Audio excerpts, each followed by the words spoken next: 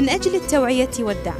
جامعة العلوم التطبيقية تشارك في حملة الشهر العالمي للتوعية حول مرض السرطان Be Aware Stay Alive شاركونا للتوعية ضد هذا المرض.